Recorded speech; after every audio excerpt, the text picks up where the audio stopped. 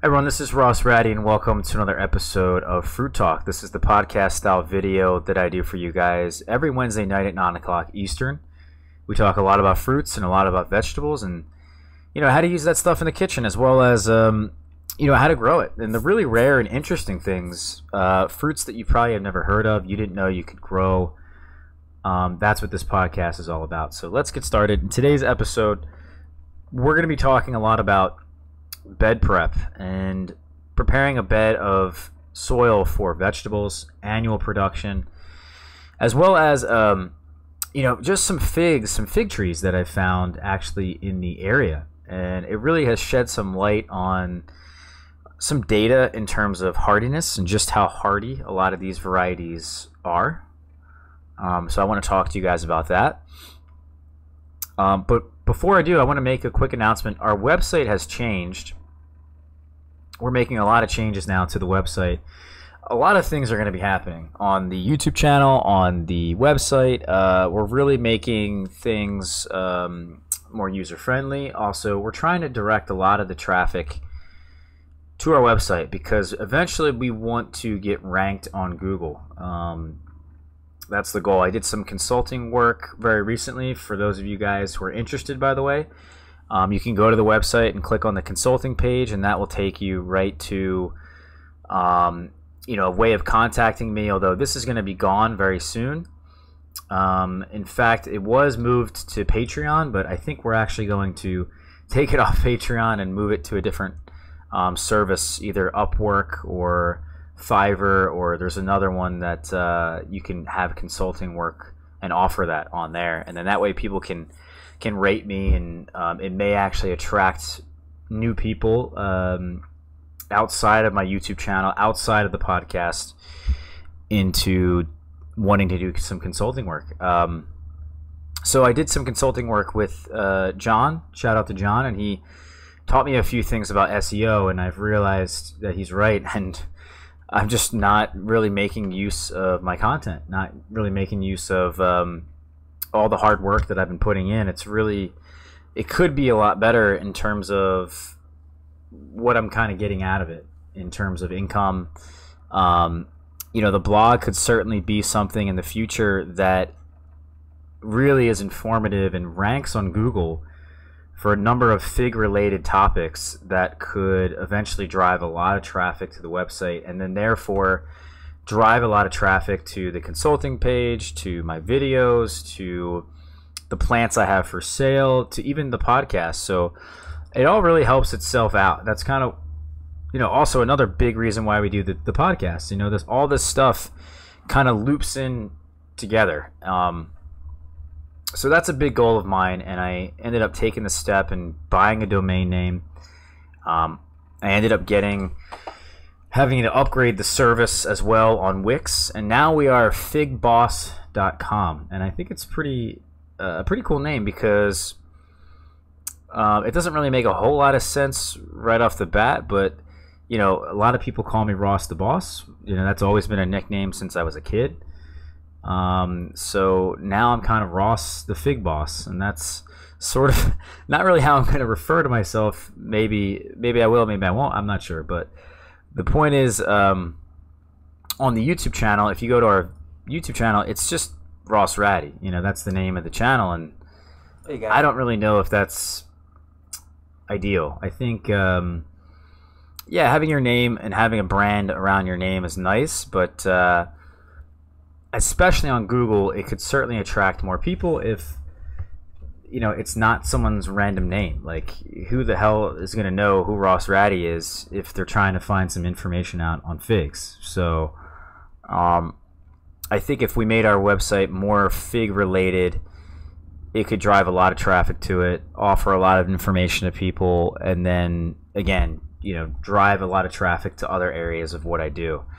Um, so that's what we're going to be doing. We're going to be focusing a lot on SEO and getting the blog up and running way more than it kind of has, and trying to get a lot of this working. I, am going to design a logo. Um, I have a couple ideas. We still have some things that are kind of in the works with the podcast too, because it's still not really on any of the hosting websites. So we are going to put that on there as soon as humanly possible. I need to get some artwork finished. That's really the only thing that's holding me back is artwork. And I've been saying that for a while, but we are going to develop some artwork, whether it's a logo, banners, you know, thumbnails, you name it. It's all going to change. And then we're going to actually have some merch revolving around those logos and those different things. Um, you know, for myself, at least I'm going to get myself some hats, maybe some t-shirts. Uh, I love to wear hats, as many of you guys know, um, especially now that my hair is much longer. But uh, we're gonna be we're gonna be uh, having myself some hats with my own logo on it, so that's pretty cool. I'm excited for it. Um, I've got some really good ideas for how this is all to kind of tie together with the Fig Boss name and you know what it's all to look like. So uh, I'm excited. But on to the episode now. I want to show you guys a couple of fig trees that I found here in the area, in the Philadelphia area. We went over just randomly. Um, I was walking to meet someone for a date and different part of the city I've never been in, and um, I found this fig tree, just huge, probably like 20 feet tall, um, at the highest point here. Very minimal dieback. Um, it's certainly in 7B, and that's the biggest difference I think between my yard and and the city is that I'm not exactly in the city. I'm in the suburbs of the city, and the city itself has a crazy microclimate because there's so much concrete. Um, they're also very close to the Delaware. It's just a huge mecca of heat. Is kind of what I like to uh, to say. And so they're not in 7A like I am. They're in 7B. And also, those really cold temperatures during the wintertime are just much more mild. Or not mild, but also, you know, they are mild, but also more importantly is not as um, long. You know, I think that's the biggest difference when you're near a, a giant body of water or you're in a really nice microclimate. The temperatures are more gradual. They're not as extreme, and they're not as as long as they would be if you're out in the open somewhere in the suburbs. You know, um, so I think that's where I really struggle. And I also found some trees that are also in 7B. Um, I found I was with my buddy Dom. Shout out to Dom. We were in um, the Jersey Shore, and you can see this is a tree that we found, a blue celeste, or probably a, some sort of celeste. I don't know if it's blue or not. I don't know why I keep saying blue, but I imagine it's a blue celeste. And yeah, okay, by the leaves, that's why I think it's blue celeste. But um, it's a huge tree. I mean, this was one of three that I found, but this one seemed to be the oldest on the island uh, at the shores. That this one probably is about 20, 15, 20 years old. That trunk is huge. It's loaded with figs, guys. It is massive. So, um, you know, really impressive how just some of these trees can get to this size and that productive just a small distance away from where I live. You know, it's kind of nuts. I mean, like, we're pretty much, and I've said this a lot, but we're really, we realistically are on the edge of surviving and death every single year, every winter. So it's kind of disappointing, but also brings a lot of hope because then you know that you know, if you're right on the edge, all you need is a good year. All you need is a really strong variety, and you can make it work. You know, I think there's definitely, um, and I've seen trees in the area. It's not like I've never seen any trees. I've seen some in, you know, Northeast Philly. I've seen some in Princeton. Um, I've seen some um, also out, you know, towards like uh, the Montgomery County area of Pennsylvania. I've seen some in Bucks County you know, I've seen them actually all over the area, and some of them can be quite large, but without a doubt, you know, it really is so much easier to grow figs in the city in a 7B climate. That's pretty much it. If you live somewhere that's 7B, I, then that's, I think, what's really happening here is that maybe 5 degrees is really the cutoff for a lot of these varieties, but also more specifically, the duration of that temperature. And I think that's the biggest key here is that, yeah, maybe we get down to zero degrees every year, but how long is that happening for? If that was maybe just very, a very short amount of time, maybe an hour or two hours, I think we'd be okay. But, you know, and then also the gradual diff the gradual change in temperature if it's you know really all of a sudden you're at like you know 10 degrees and you go all the way down to zero in like a matter of half an hour or, or an hour or something like that is that even possible? I don't know. But the point is um you know it, it definitely wouldn't would make a lot of sense if we have a lot of colder days and then have a really extreme cold day. I think our trees would do a lot better. Whereas if we had a bunch of warm days and then a really cold day i think that is way worse than something that's consistently cold so you know, who knows? But like I said, it's giving me a lot of disappointment, but also hope for the future here on my property. And, and to be honest with you, I'm not really even doing too much of this anymore. I think I've pretty much made up my mind. In another episode that we did, we talked about covering them with tarps and how I'm training them in the ground and how I'm planting them and really just getting them cut back to the base and then covering them. I think is honestly my best bet. So we will see. But uh, I also want to mention before I move on to bed prep is that we did just make ourselves a peach pie. And we've been getting peaches galore, man. I have, if I show you guys this photo here, this is two baskets worth of really nice peaches. Good size, good color, amazing flavor. Um, some of these are picked a bit too early, and it's a bit of a shame that some of the ones that I picked a bit earlier in the trees um, in the picking process. I picked some of them a little too early, but uh, we are going to dry a lot of them. Again, we're making peach pie. I have roughly already harvested about this basket size here on the right. I've probably already harvested about eight of those, and there's still probably about another four baskets worth, or another three baskets worth on the tree. So I would say, you know, I don't think it was an exaggeration that I have about 300 peaches this year. It really is um, kind of nuts. It's just insane. Um, we have so many peaches. I've been giving away as many as I could, but you know, I don't really know what to do with them. Uh, we're gonna dry. I'm gonna see if I can dry about 50, and see if I can stick as many of them in the oven as possible, and get them, you know, somewhere around probably somewhere below 150 degrees you know, probably like six hours or so, maybe even longer, probably longer to be honest with you, and just uh, and dry them. Um, and then we can actually take the pit out at a later point. You know, we don't have to really uh, pit them or anything. I think we could just dry them whole, and then go from there. You know, I think that's a good way of preserving them and keeping them fresh, or at least uh, eat you know edible and still good for the wintertime. Um, so that's that. And then the next thing I want to talk to you guys about bed prep, and this is something that's kind of been like an epiphany to me. And I don't really have a nice little photo for those of you guys who are watching. Maybe I can go to my YouTube channel real quick and show you guys what I mean here. Um, in our potato video everyone. that we did actually yesterday, if you guys are watching, this is the new bed that we created. Um, and the bed here is, I would say, not the best in terms of preparation. I think I'd rather have more soil, um, more inches of soil, uh, inches of compost. But um, for the most part, it's pretty damn well prepared. And this is going to really set me up.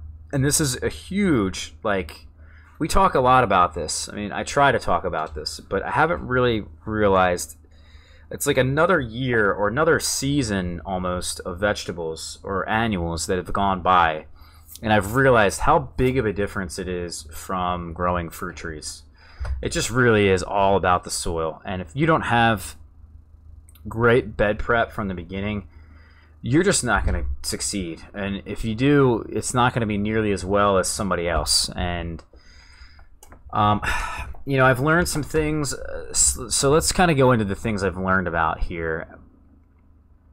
You know what? Let's talk about how to prepare a bed really quickly. Let's do that. So you could take any soil. I don't care what it is. If you just throw down, you know, four to six inches of well aged compost, we're talking about compost that has very few large pieces in it. It's really well broken down. It's black. It's nutritious. It holds lots of water. You know, that is really going to create yourself the start that you want. First off, with that awesome soil, you can really easily direct seed into that. Um, it also has the right nutrition level. It holds water well. So, um, you know, those are pretty much the most important things here is that you need to have the right nutrition. You know, you need to have the right amount of water. Um, and of course, positioning the bed is going to be equally important for the amount of sun, right? That's what we think about when we we're growing plants is like they need food, water, and sun. I mean, those are the three main things. Um, we'll get into positioning in just a second, but you know, I think this is honestly the best way to do it. And I've seen a lot of market gardeners. I watch a lot of market gardeners, guys. Um, people like uh, Charles Dowding. Um, I've seen some of JM's videos. I've seen some of Curtis Stone's videos. I've seen this guy right here, this crazy guy. Um, what's this guy's name? Uh, let's see. Let's go to the video here. This crazy guy. Uh, let's see. It doesn't say for some reason. But anyway, he is essentially also a market gardener that goes from Florida up to Maine and goes back and forth. And basically, you know, between the bunch of them, they really are uh, an inspiration in terms of how to grow vegetables. I mean, if you want to learn how to grow vegetables, I would say those are like the best people to do it from. Um, so from them, I've you know this is pretty much how a lot of them do it is that they get themselves. I mean, at least Charles Dowding does this probably the most, at least the most intensively, as he calls it, no dig, and he just essentially puts down compost every single year. Um, that's broken down well. In fact, he goes to crazy lengths to get the right compost, to put down compost that's you know if it's not well broken down, he'll let it sit there for a year, two years and then he'll put it on his beds. Um, you know, he really does go through crazy lengths to get the right soil because he realizes how important that is to healthy and productive vegetables. I mean, or annuals, you should I should say. So that's key number one. It, also helps with with weeding too. I mean, it's easier to weed. Um, you also have less weeds. Um, you don't have to disturb the soil you know, I think no dig is realistically the best way. And I, it's crazy to think that one way is the best way because I don't like to say that this is the exact best way or the ultimate way of doing one particular thing and growing because there's so many ways to do the same thing. That I don't like to really say that, but uh, I honestly believe that this is probably the best way. I mean, just not disturbing the soil and adding compost and amendments on every year is going to net you really realistically i'm telling you it's going to you're going to have the best results. Um, you could do this whole thing in a raised bed too but you know with the right soil. But for me i'd rather just have a raised bed just that's connected to the native ground. You know i want to have that native soil improve over time I want to have worms in my soil. Um, that also then improves the soil underneath. I want to also make use of the soil underneath because it holds a lot of water. It's super clay.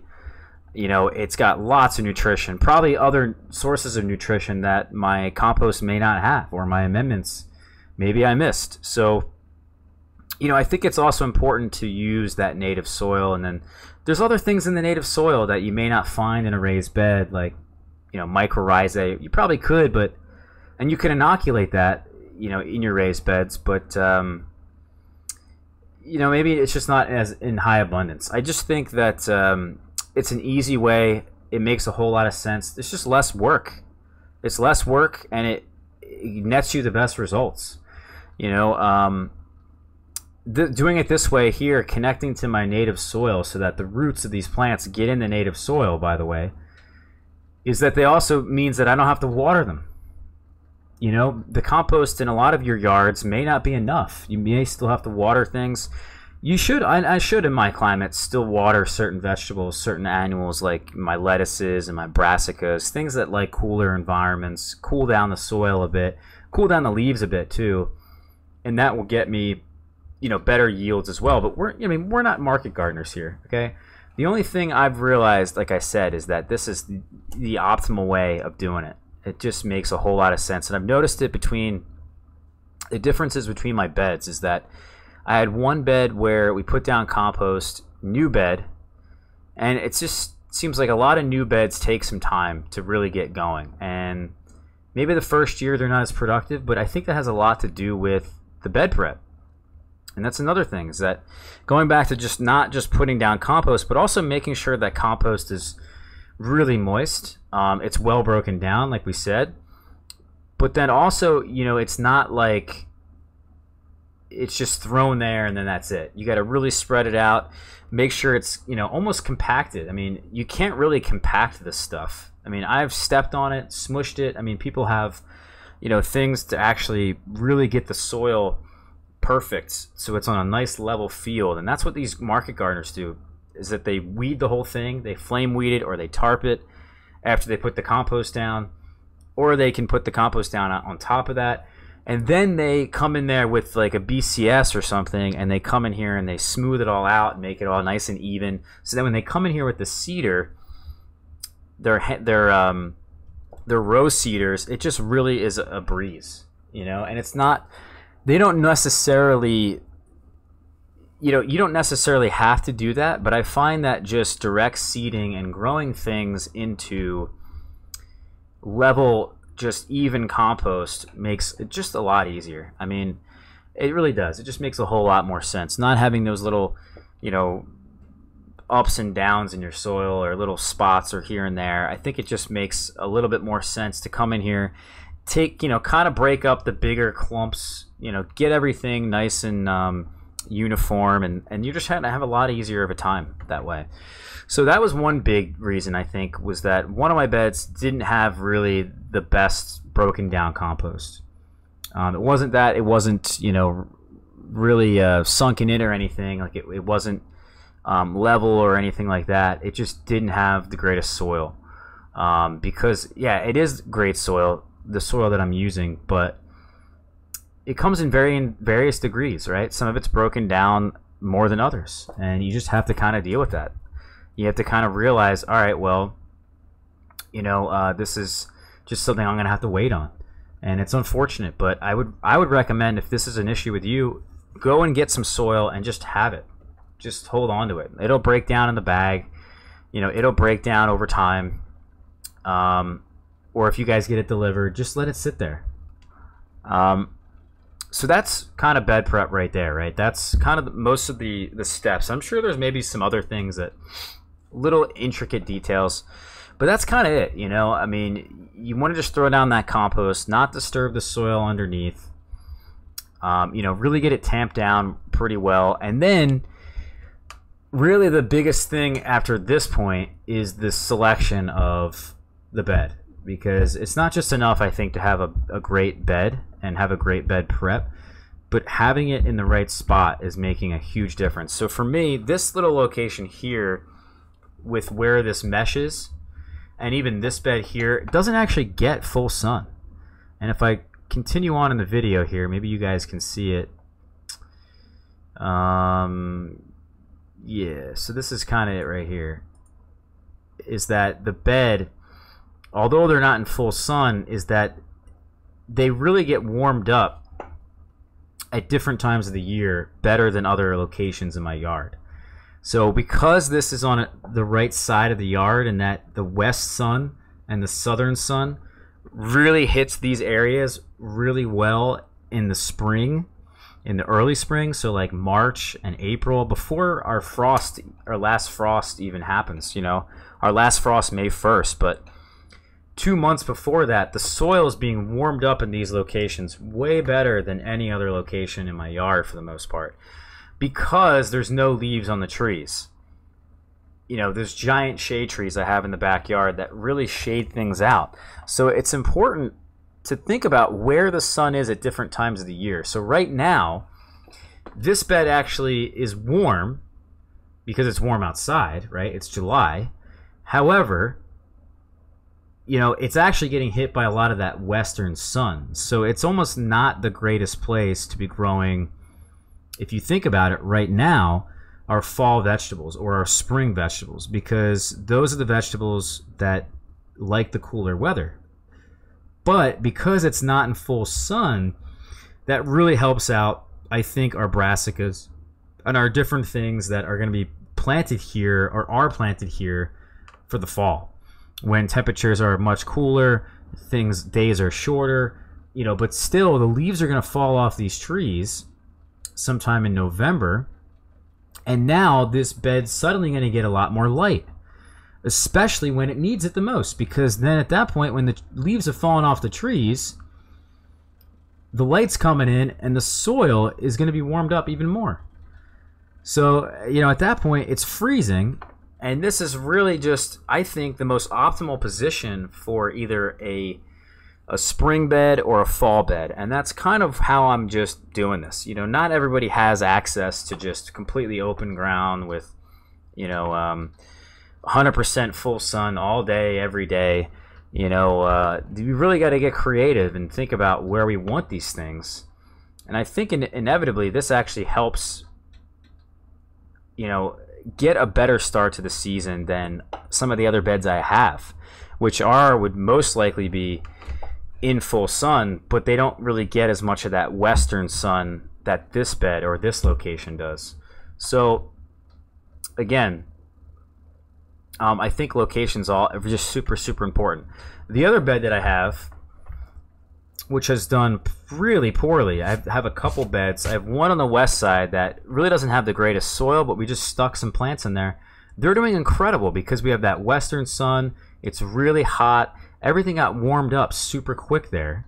Whereas I have other plants on the north side of my house, which don't get a whole lot of sun. Maybe some morning sun, a little bit of sun in the afternoon on onwards. But because they don't really get a whole lot of sun, and the soil isn't warmed up quick enough, it just doesn't work out. Nothing really grew too well there. And for me, it just doesn't seem like the greatest place to grow certain vegetables. And in fact, most vegetables. In fact, if I had the choice, I probably, like I said, I probably would just grow all these vegetables in full sun all day.